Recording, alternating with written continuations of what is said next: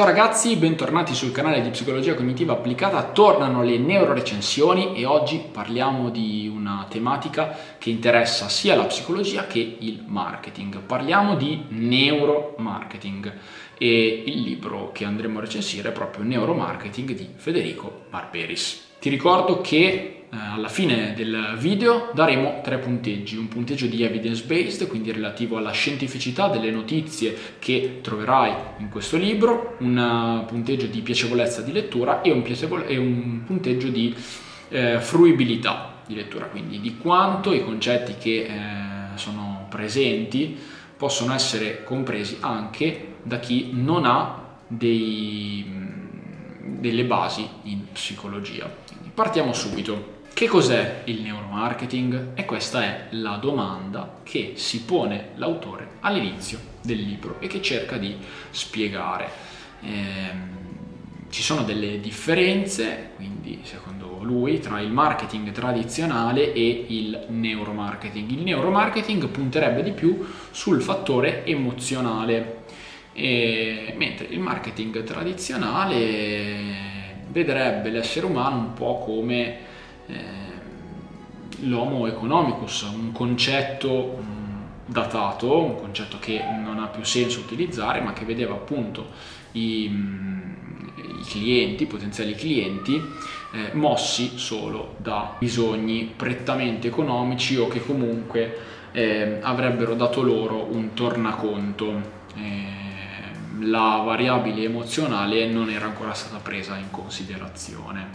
Poi eh, si prosegue con un riassunto molto veloce della teoria dei tre cervelli di MacLean, eh, Trita Ritrita, che però non poteva mancare, e finalmente al, mi sembra, quarto, quinto capitolo si arriva a qualcosa di veramente interessante, che sono appunto i bias, gli errori decisionali che l'essere umano compirebbe in cronico, non perché eh, gli esseri umani sono stupidi non ce la fanno, ma semplicemente perché, come ti ho ripetuto tantissime volte, eh, secondo eh, Kahneman, vincitore di un premio Nobel per l'economia, per questa scoperta, per questa teoria che però è stata applicata eh, nella, vita, nella vita reale con grande successo, secondo Kahneman l'essere umano avrebbe due sistemi per decidere, sistema 1 e sistema 2. Il sistema 1 ci pone che quindi è quello che ho utilizzato maggiormente nella vita di tutti i giorni, ci pone a dei, dei, bias, degli errori di ragionamento e sono proprio questi errori di ragionamento che possono essere sfruttati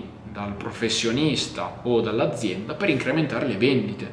Chiaramente eh, qui eh, si apre tutto il dibattito relativo all'etica, quanto è etico spingere una persona a prendere decisioni sapendo che l'essere umano è limitato e che quindi sbaglierà, che quindi farà in, in potenza quel ragionamento. Si parla anche di tecniche di neuroimaging, quindi per esempio le EG, eh, per quanto riguarda sempre i processi decisionali, come eh, reagisce il nostro cervello in determinate situazioni e ancora una volta viene sottolineata l'importanza delle emozioni e di ciò che eh, un brand può suscitare. Diciamo che il manuale in sé è corto, eh, però completo. Eh, si parla quindi di pubblicità, si parla di come eh, generare fiducia nei clienti,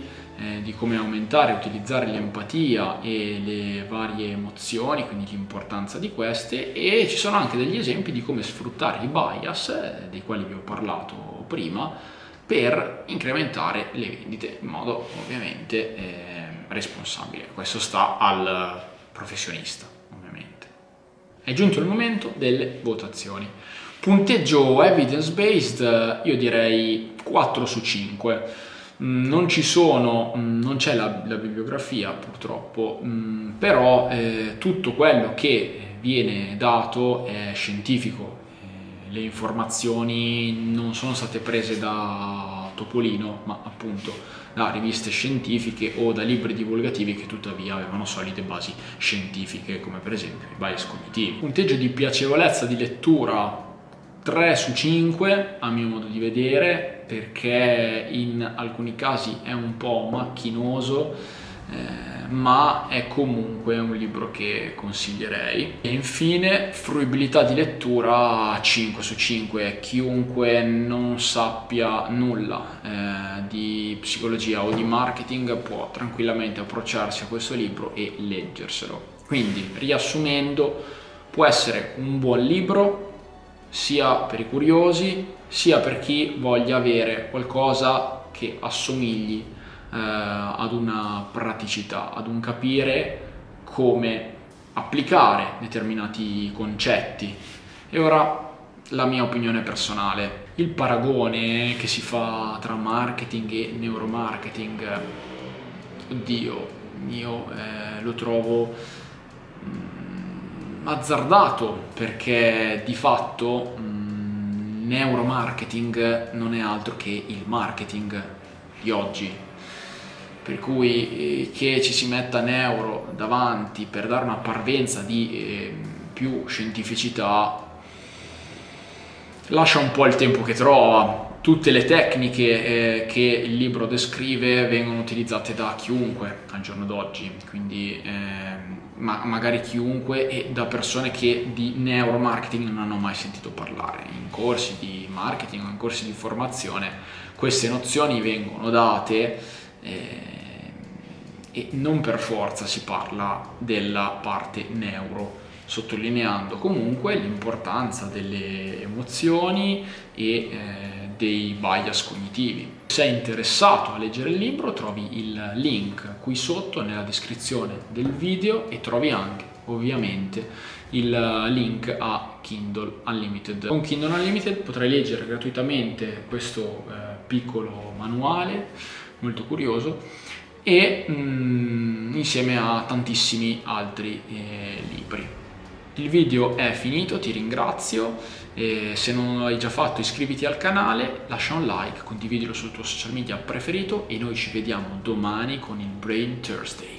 Che l'evidence based sia con te.